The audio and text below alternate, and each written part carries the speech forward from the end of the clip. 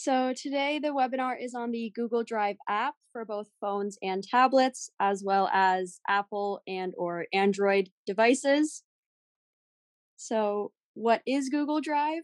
So Google Drive is a cloud-based platform used to store your digital files. You can create, edit, save, and share documents, pictures, and more. And Google Drive includes Google Docs, Google Slides, Google Sheets, Google Forms, as well as Google Photos. So there's lots to do on Google. So to access Google Drive, it is downloadable and accessible across all devices and operating systems. So that's whether you have Apple or Android, it's compatible with everything. It connects all of your devices using your Google account and will automatically sync your device so that all of your files as well as information will be updated to the cloud um, it can be downloaded on mobile devices as well as desktops. So either tablets, phones, and computers, laptops, anything, you can always access Google Drive. Um, it can also be accessed through a web browser instead of downloading the app. You can just search it up on Google and it will come up. And a lot of the time, people need to work on the go. So having Google Drive on your smartphone and or tablet will help with that. So, you, firstly, if you would like to download the app, it is um, on Apple devices. You can just open the App Store and search on Google Drive. And on Android devices, um, it should already be pre installed. And if it's not, or if you accidentally deleted it, you just open the Google Play and search for Google Drive. And then the little pictures beside the words are just what it should look like when you search for Google Drive. So now getting started on the app. So on your Apple or Android device, you can find and open the Google Drive app and then sign into your Google account. And then in the My Drive section, you will see files and folders you uploaded or synced onto your phone or tablet or whatever you are using. And you can also see Google Docs, Sheets, and slides you can then create. So, a little note is that Apple and Android apps may look a little bit different. And if you're sw- switching from a Microsoft Word to a Google Drive, you have to make sure that all of the documents that you wish to have in the future are saved to your device instead of just to Microsoft Word because they're just two different apps. So you would have to save them onto your phone as a file and then re upload them to your Google account. So um, navigating the app on a tablet or phone, you will see a menu bar. And there are a few different options. So you will see Home, which is where you start out when you first open the app. Um, starred is just the files you have marked as important files, and that's where they will be stored. So the shared files and folders have been shared with you by other people, which we will get into a little bit later. And files is a list of all of your Google Drive files and folders. So again, the picture right beside the words are all, it's a screenshot from the homepage from an Android device. So that is what it should look like coming from an Android. So this is again just navigating the app. Um, there's four horizontal lines in the top left hand corner. And if you tap on that with your finger, um, it'll open up more options. So that's where you can see all of your recent files, all of your deleted files. That's where you can change your settings and see how much storage you are currently using.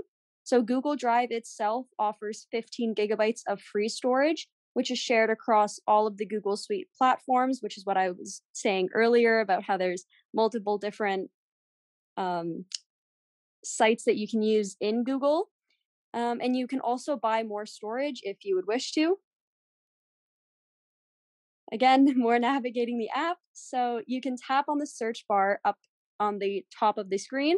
Um, and you can write or search up for whatever folder or file that you are looking for. So if you just remember the name of what you set it as, um, you can tap on the notifications to see the status updates or if anyone has made any changes to your shared documents or if something has been shared with you. So if you tap on your profile up at the top right hand corner, um, you can access your account information so that's where you can add another account or manage the accounts on your device. So to upload or create files, you can upload files from your phone or tablet or you can create files in Google Drive. First, you would tap the big plus button. Normally, it's located somewhere down on the bottom, whether that's in the middle or if that's the bottom right hand side. But right beside it, that's it's a colorful plus sign, like the Google colors. Um, to upload a file from your phone or tablet, you just click on File Upload.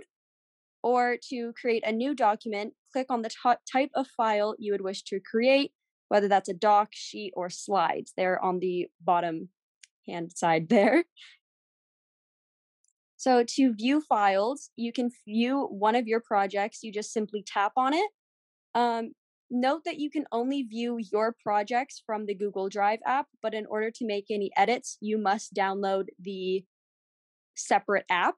So if you tap on a Google Doc and you wish to edit it, um, it should pop up or it should bring you to an app store automatically and just makes you install it. Everything in Google's, like in the Google things, they're all free.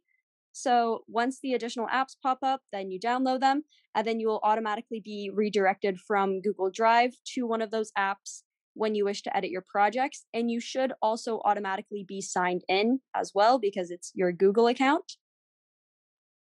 So to edit files, using the Google Docs app and the other Google Suite apps will be much as the same as on a computer, except the screen will be a lot smaller and some of the features that you will usually see on the computer will just have different locations. So to start start typing on a document, you simply just tap on the screen where you would like to type and your keyboard on your phone or tablet will appear. And you can still format the text, whether that's bolding it, uh, you can change the font size, change colors, etc. That will all also be an option there. And if you made a mistake or you just want to delete something, you can either click the undo button to take back your last action or just hit the delete key on your keyboard. And the doc will automatically save as long as you are connected to the internet. So, for sharing documents, um, in addition to creating or uploading your own documents, you can also share them with groups of people. To do this, you check on the box next to the fold file or folder you would like to share. Click on the share icon on the type, top right hand side of the screen.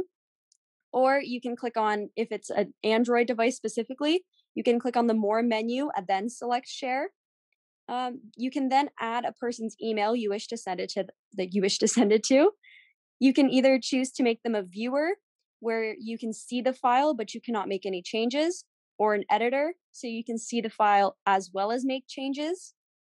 You can also share documents to anyone who has access to the link by copying, pasting it into a message or a text message more specifically, or also an email, and then you can send it to whoever you like that way. So then lastly, if you would like to access your files when you are on the go and you're not connected to the internet, you can make your files available offline. To do this, you would click on the three dots beside the file you would like to make offline, and then click on the available offline option. This means that you can still access and work on your files even if you're not connected to Wi Fi or you do not have cellular data. Okay, so now it is time for the live demo. So to access the app, you would just click on the App Store. I am using an Apple device, so I am on an Apple App Store. And then you would click on the search icon at the top or at the bottom right hand side. Click on search and then just search up Google Drive. And then search. And because I already have the app, it is automatically downloaded, but this is what it should look like. And then you would just click on um, download. But because I already have it, I'm just going to swipe away. So here's my Google Drive. So usually when you first download the app, it will automatically make you sign in. Um, it's it's just whatever you would use as your email, and then you would make up a password for it. So here it is. So here's on the bottom right hand or on the bottom left hand side, I am on the home page. So there's just many files that I've been working on. And then I don't have anything starred, but this is where all of your uh, files or folders that you would make important. This would be where they are stored. And then for the shared documents, I do have something shared already with me. And then over here is just files more, here's just every file. So there's all uh, different PDFs, which are actually pictures. There's more Google Docs, which I am a student, so it's mainly all just work that I've been doing. And then I have this presentation that I just gave on Google Slides. So going back to the home page. So to start a new project, you would just click on the bottom right side, the plus bar. And then here's the, eh, this was on the screenshot in the presentation. So I can upload a folder, I can upload a picture, I can take a picture, but I'm not going to be doing any of that. I'm going to click on Google Docs at the bottom left hand side. It's going to ask me to name the document. I'm just going to name it test and then create. So here's what it should look like. You can type out whatever you want. I will say hello. There's that. And then here's the option to you just tap right beside the word that you typed, tap on select, and then here is where you can bold it, you can underline it, change the color if you want to. You can do anything you'd like there. Um, for more options on how to change the font, you would click on this A over in the top. And then here's where there's like size, different font styles, anything you want, it's right here. Um, if you click on the plus up at the top, then you can find more things to insert. So a page number, a table, that's where you can insert an image as well. Um, and then here the, the on the top right hand side, these three dots, this is where you will find most of the information that you will need. So the share and export, which is the fourth from the bottom, I'm going to click on that. And then there's many different options. This uh, the the second to the bottom, the save as Word document. Um, that's where you would save it to your phone, and then that saves as a downloadable item, which is then you can move it around and use it however you would like. So when you tap on the very top, the share option, this is where you can add people's emails or anyone who has access to it. That's how you can do that. And then, yeah, um, if I go, if I exit out again, it automatically saves down here. And then if I were to click on the three dots on the right hand side of that document, this is where you can find, again, mainly the same things that were in the three dots in the document, as well as the available offline option. And this is automatically available offline, but I just took it off available online. And then just to put it on again, you would just click click on the make available offline. And then yeah. Um so to create a folder, I have to go back to Drive. Um, click on the plus again, and then click on folder, which was on the top left hand side. And then I'm just going to name it test folder again, and then tap on create. And now that the folder is created, it should pop up down at the bottom there. I can access the folder. I go to files. Um, then here it is. And I can add, I can move things into this folder if I would like to. So I made up the folder already by doing the plus button and then I clicked on the folder option. So there's my folder.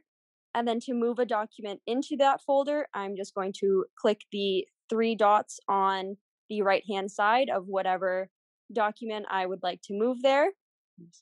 And then if you scroll down, then you can see all of these options. I'm going to click on the move option. And then you would, um, if you want to, you can move it to your actual computer or your, that just means your device, but I'm going to select my drive. And then if you have multiple folders, they should all come up here, but I only have that one folder. So I'm going to click on the folder and then down on the top right hand side, the move here option. So now when I click on the folder, there are the two um, documents that I have moved into that folder. I'm just going to give another example. So if I go back to the home page and I showed how to make a um, Google or Google Doc but if I were to click the plus again and then click on Google Slides, because I have the app, I was just completely redirected onto Google Slides. And then I am just going to repeat the same process with the naming the presentation and then tapping the create button. And then here's what a Google Slides should look like right when you start. And then to type something on, you would just do exactly what the screen says and just double tap.